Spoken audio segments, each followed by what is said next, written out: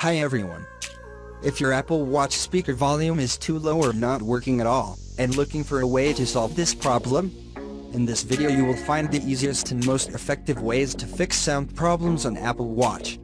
The first things, if you're on the call, make sure to turn on your sound all the way to the up so that you can hear that person clearly. Method 2. Change volume settings. Now the first step, open up your settings. Now once you're here come down here, and find out an option called Sounds and Haptic. Then click Sounds and Haptics. And here make sure that your alert volume is all the way to the high.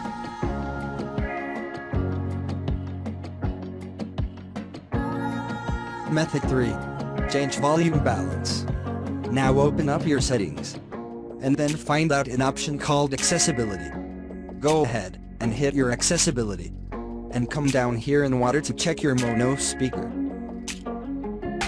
If you're using a mono speaker for some reason, make sure you are placing that sound in the middle. If you're using on the middle that means you'll be able to hear your sound perfectly from that bold speaker. This is how you can fix that problem especially if it happens audio related problem on your Apple Watch. Hope this video helpful.